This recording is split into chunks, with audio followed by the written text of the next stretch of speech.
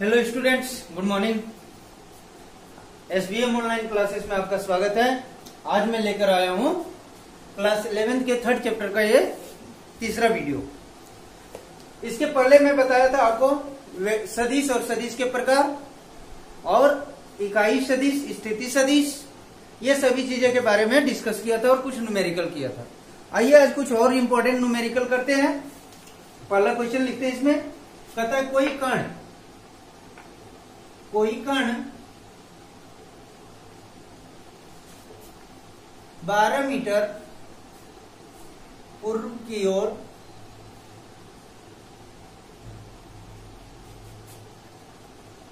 Five metre उत्तर की ओर तथा छह मीटर तथा छह मीटर ऊर्ध्वाधर ऊर्ध्वाधर ऊपर की ओर, ऊपर की ओर जाता है। विस्थापन का परिमाण ज्ञात कीजिए। कण के विस्थापन। विस्थापन का परिमाण ज्ञात कीजिए। परिमाण ज्ञात कीजिए। क्वेश्चन क्या कह रहा है कि कोई कण 12 मीटर पूर्व की ओर 5 मीटर उत्तर की ओर तथा 6 मीटर ऊर्ध्वाधर ऊपर की ओर जाता है। तो कण का विस्थापन का परिमाण ज्ञात कीजिए। तो क्वेश्चन कैसे करेंगे? तो आपको डायरेक्शन का सेंस होना चाहिए। ये वाला डायरेक्शन इसको हम लोग ईस्ट कहते हैं। ये होता है नॉर्थ ये होता है वेस्ट और ये होता है साउथ मतलब पूरब, उत्तर, उसके बाद पश्चिम और दक्षिण। तो कहता है कि यहाँ से मान लो कोई पॉइंट से वो चलना प्रारंभ किया तो ये पॉइंट से, और ये पॉइंट से किधर गया? पूरब की ओर गया। कितना?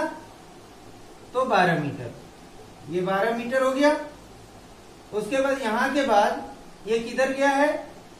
6 मीटर 5 मीटर उत्तर की ओर। तो ये उत्तर दिशा हो गया। ये 5 मीटर हो गया किधर? उत्तर की ओर। अब बोल रहे यहाँ से ये ऊपर की ओर आया ऐसे। कितना? 6 मीटर। तो यदि इसको X Y Z coordinate system में रिप्रेजेंट करना चाहें तो देखो एक्स एक्सिस में कितना गया? एक्स एक्सिस में 12 मीटर। वाई एक्सिस में ये एक्स एक्सिस हो गया। ओरिजिन से एक्स एक्सिस में 12 मीटर वाई एक्सिस में 5 मीटर। और जेड एक्सिस क्या होता है? तो परपेंडिकुलर टू द प्लेन तो ये अपना हो गया क्या? जेड एक्सिस तो जेड एक्सिस में आया तो ये इसका विस्थापन विस्थापन कैसे होगा समझ में आ रहा है ना? ऐसे करके आएगा थ्री में। तो यहाँ पर इसका जो कोऑर्डिनेट लिखाएगा, वो एक्स एक्सिस में कितना लिखाएगा? बारह। वाई एक्सिस में कितना लिखाएगा? पाँच। और जेड एक्सिस में कितना आया? छह। तो यहाँ हो जाएगा सिक्स तो इसका ये कोऑर्डिनेट हो गया एक्स वाई जेड एक्सिस में। बात समझ में आ रहा है ना? तो इसका अब हमें विस्थापन निकालना है। क्या निकालना है? तो विस्थापन क्या होता है? तो इनिशियल पॉइंट से फाइनल पॉइंट के बीच का दूरी। इसी को हम लोग विस्थापन सदिश कहते हैं। तो विस्थापन सदिश क्या हो जाएगा बताओ? ओपी तो वेक्टर ओपी बराबर हो जाएगा twelve i plus five j plus six k बात समझ में आ गया? तो यहाँ से इसका ये विस्थापन सदिश हो गया। पर बोल रहा है विस्थापन का परिमाण ज्ञात कीजिए। तो परिमाण मतलब ओपी का क्या निकालना है मैग्नीट्यूड। तो मैग्नीट्यूड निकालेंगे तो क्या होगा? अंडर रूट ट्वेल्व का स्क्वायर, जे का कोफिशियंट फाइव का स्क्वायर और सिक्स का कोफिशियंट मतलब के के कोफिशियंट सिक्स का स्क्वायर। इसको सोल्व करो। तो बारह का स्क्वायर कितना? एक सौ चौवालीस। पाँच का स्क्वायर कितना? पच्चीस। और छह का स्क्वायर कितना? छत्तीस। जोड़ दो। चार छह दस, पाँच पंद्रह, चार दो छह तीन नौ, एक दस, एक और एक दो। दो सौ पाँच मीटर। कितना हो जाएगा? अंडर रूट दो सौ पाँच मीटर। बात समझ में आया?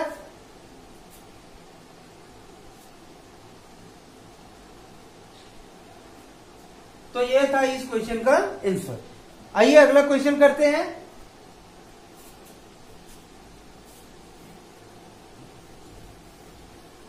दूसरा क्वेश्चन क्या है? कहता है, एक ऐसा सदिश ज्ञात कीजिए।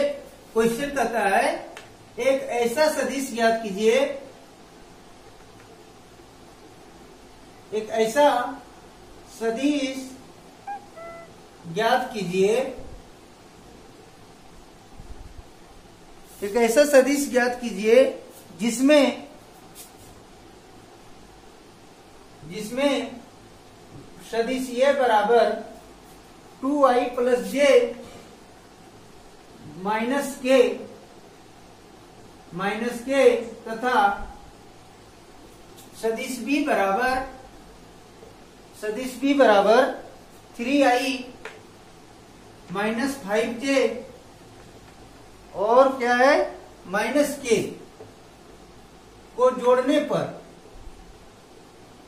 को जोड़ने पर ऋणात्मक वाई अक्ष में, ऋणात्मक वाई अक्ष की दिशा में, की दिशा में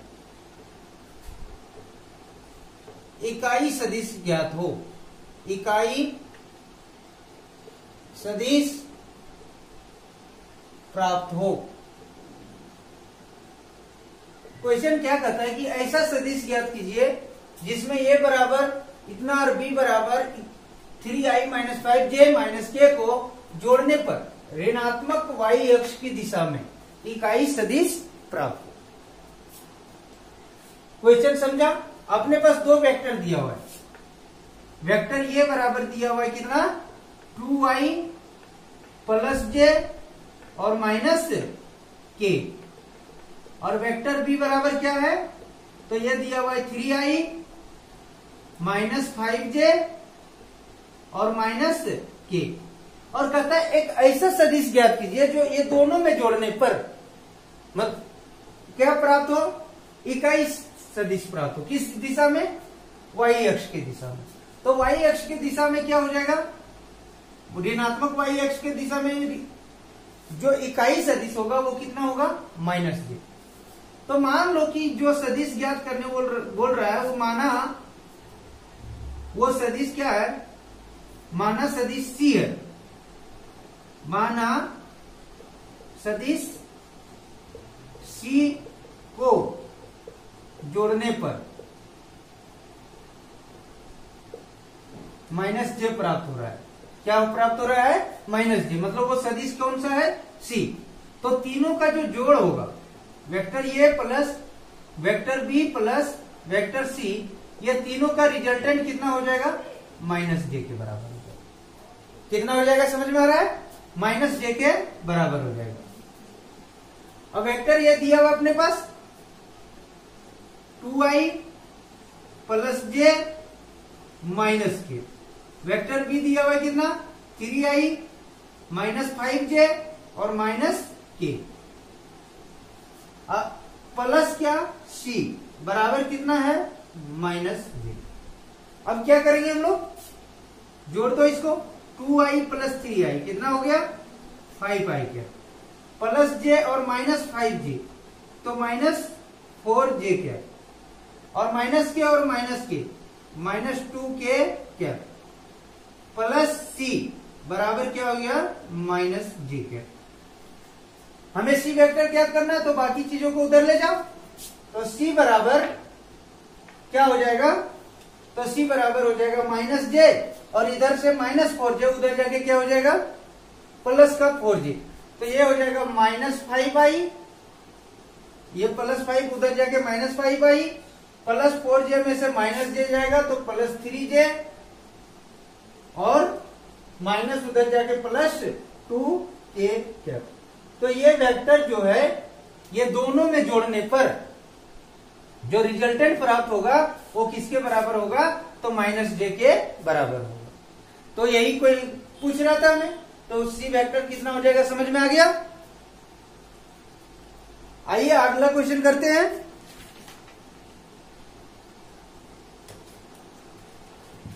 क्वेश्चन क्या कहता है कि दो सदिश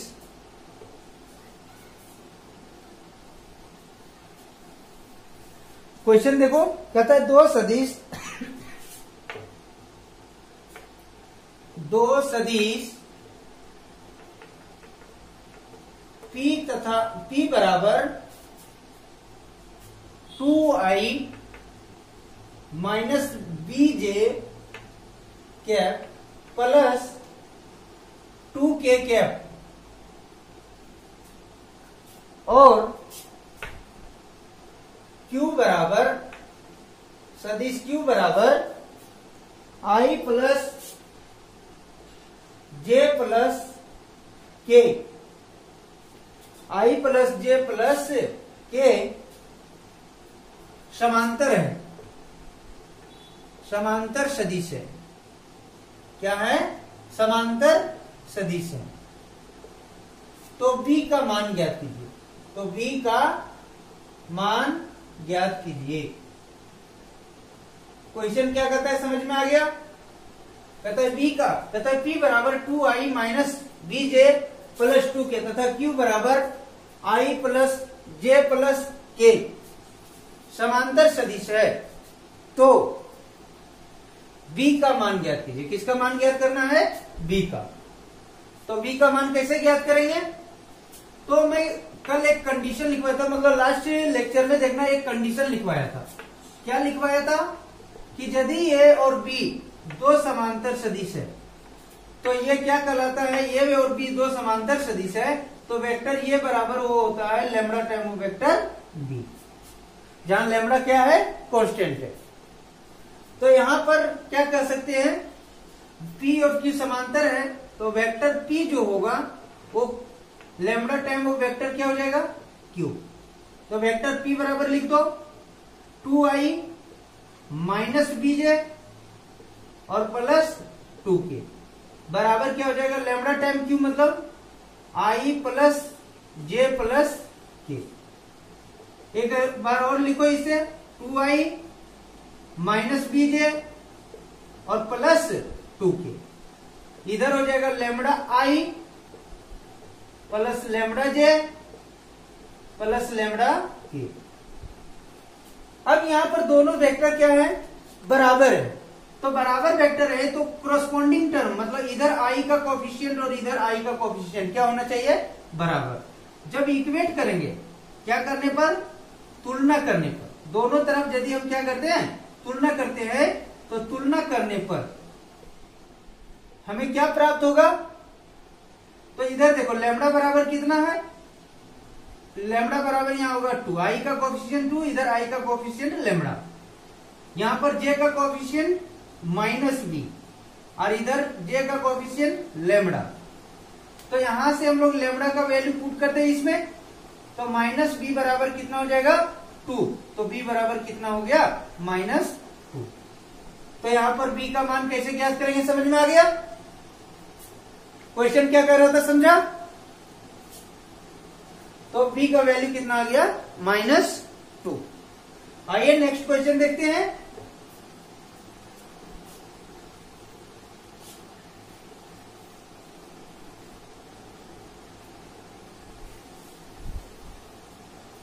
अगला क्वेश्चन देखते हैं।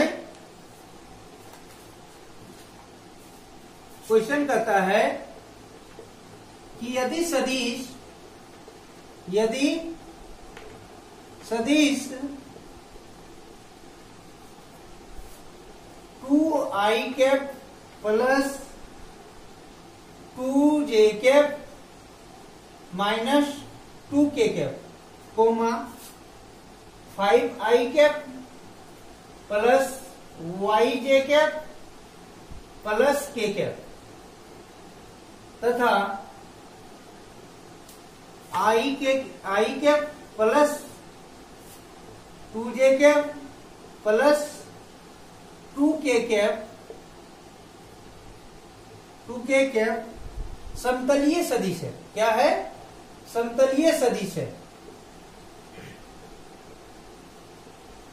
समतलीय सदिश है तो y का मान ज्ञात कीजिए। तो y का मान ज्ञात कीजिए।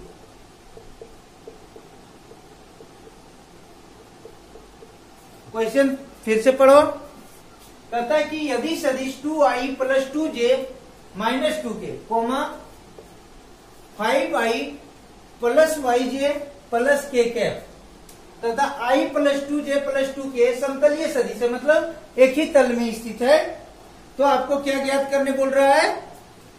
तो ज्ञात करने बोल रहा है अपने को कि y का मान कितना होगा? y का मान कितना होगा? तो y का मान ज्ञात करने के लिए क्या करेंगे? तो एक कंडीशन बताया था समतलीय सदिश पर। समतलीय सदिश की ये ये बी और सी समतलीय सदिश है यदि। तीनों सदिश क्या है? समतलीय सदिश है। तो यहाँ पर हम लोग ऐसे लिख सकते हैं कि ये बराबर m time of b plus n time of c होता है। ये कंडीशन होता है और एम और एन क्या है? तो एम और एन कांस्टेंट है। एम और एन क्या है? कांस्टेंट है मतलब कोई संख्या है। एम और एन क्या रहेगा? कोई संख्या रहेगा। तो इसी कॉन्सेप्ट को लगाते हुए आइए देखते हैं। अपने पास दिया हुआ है। क्या दिया हुआ है? ये बराबर। तो ये बराबर कितना है? Two i plus two j minus two k.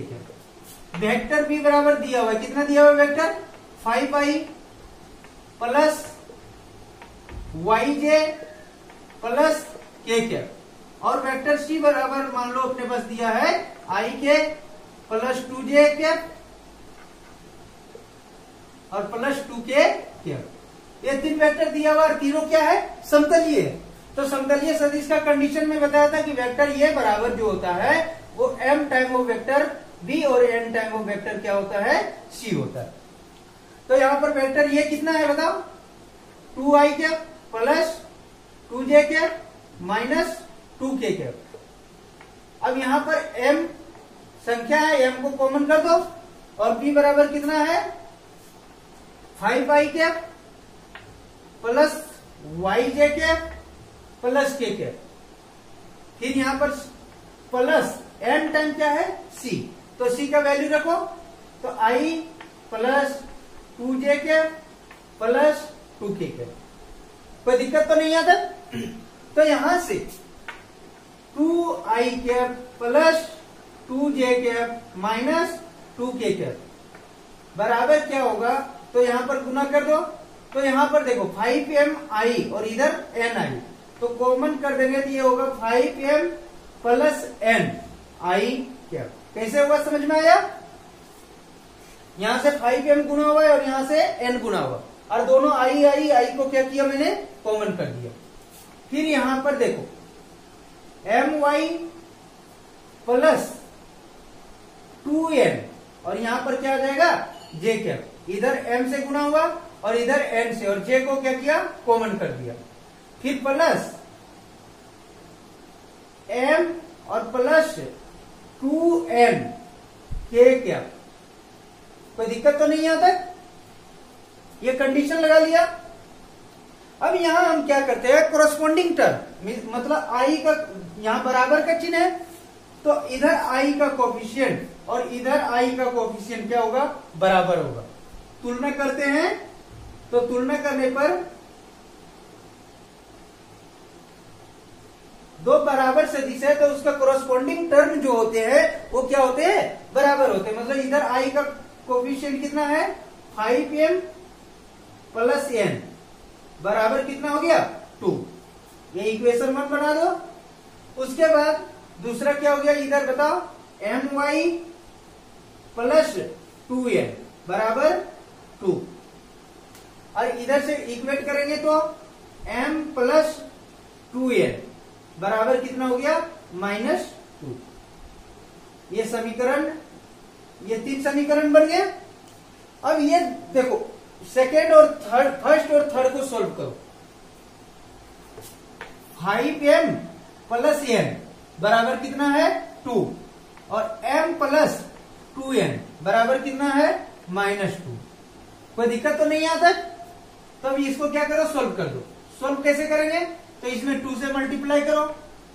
तो यहाँ पर हो जाएगा two into five two n और टू इंटू टू तो इस इक्वेशन को लिखोगे तो कितना हो जाएगा बताओ?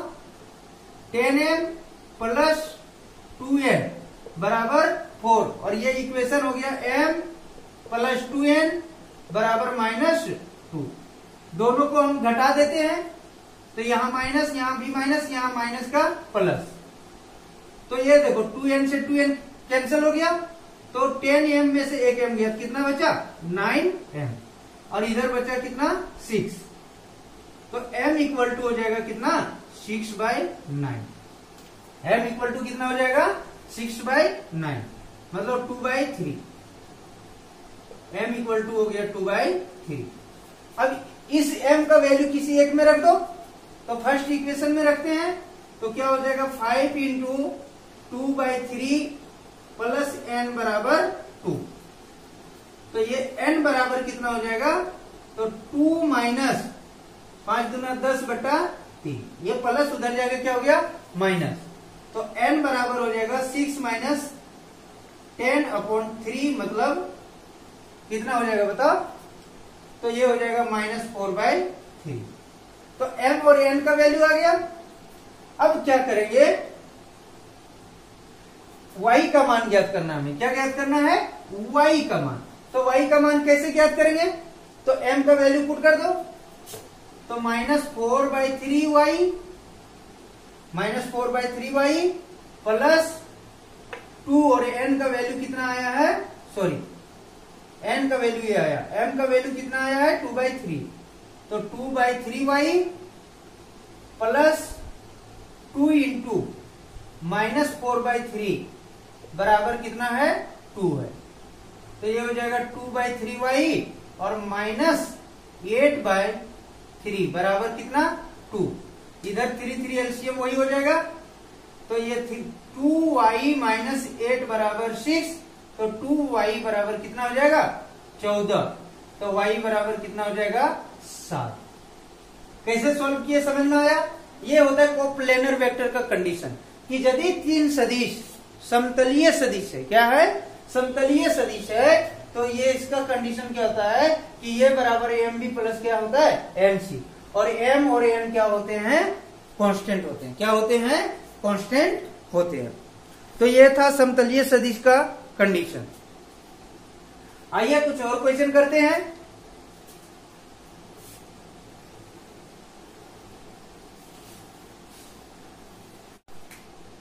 तो नेक्स्ट क्वेश्चन लेकर आते हैं। क्वेश्चन है कि यदि कोई vector two i plus three j, two i plus j plus c k का परिमाण का परिमाण तीस है तो इकाई सदिश ज्ञात कीजिए। तो इकाई सदिश ज्ञात कीजिए।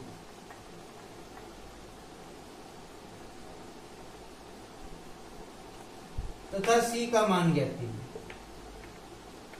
सी का मान ज्ञात कीजिए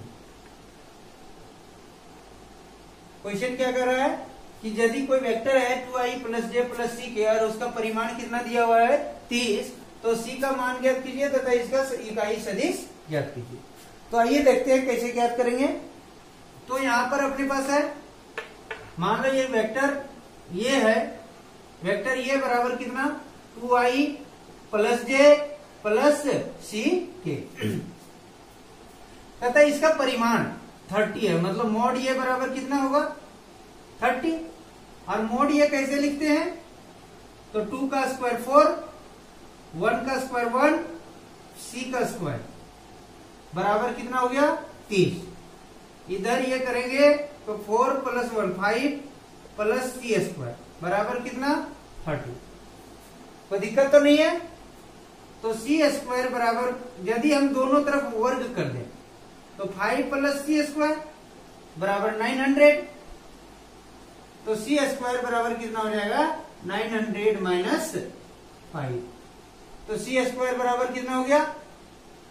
एट नाइन फाइव तो सी का वैल्यू निकाल दो यहाँ से। तो c equal to under root क्या हो जाएगा?